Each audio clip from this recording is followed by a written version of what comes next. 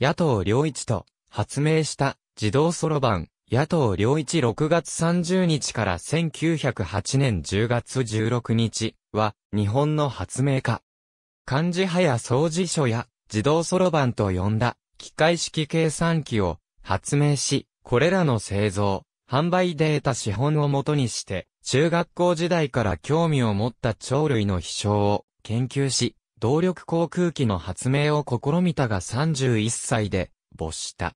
福岡県高下郡国土村で、後に岩屋の村長となった父、同一、母、民の長男して生まれた。旧路土小学校と岩屋小学校を経て13歳の時、豊津中学校に進んだが、鳥の飛翔に関心を持ち、さらに研究するために16歳で退学し、大阪へ出た。大阪で数学、工学や語学などの知識の必要性を痛感し、英国人の私塾にも通って学習したと伝えられる。22歳の時に帰郷し、鳥類飛翔の研究の没頭するとともに、機械式計算機も合わせて研究した。また、良一は、赤穂浪士の一人、野党乗金の父、野党長介の末裔とも言われる。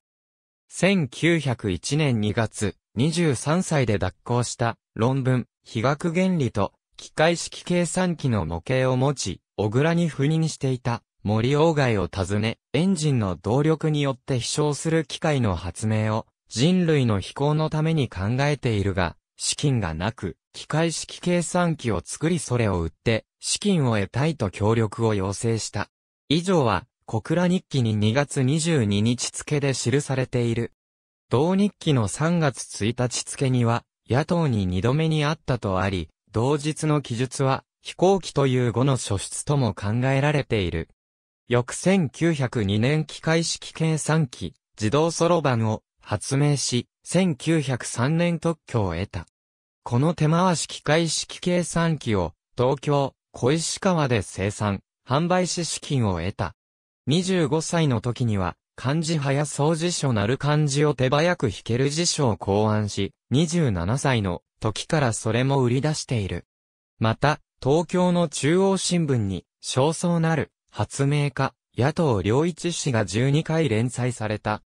漢字早掃除書の仕組みは、山田明彦によって確認されており、筆格を、第一種水平に陰気たる及び、第二種上より下に水化したる線及びといったように、分類し、筆順によって並べたコードにより引くものである。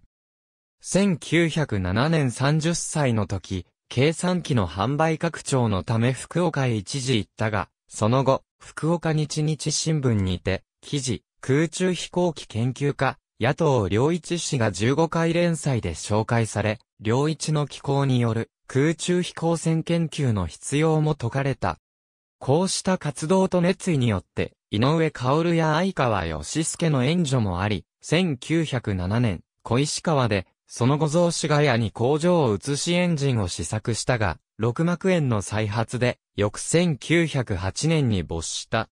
武前市市に、掲載の、福岡日日新聞の記事によると、模型は、前後の長さ約3.6メートル、横幅約1.5メートル、鋼鉄製で付属品も備わり費用は9500円。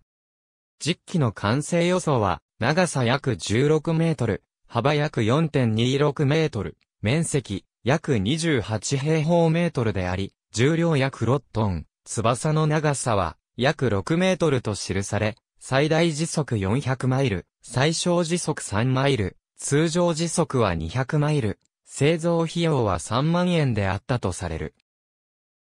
エンジンは、実験の結果、好都合なる時は未だ無比の発動機にして、重量わずか20巻目余り、20馬力、1分時間に3万、回転と、両一没後に、不動位置が記している。なお、比較原理は、現在行方不明である。ありがとうございます。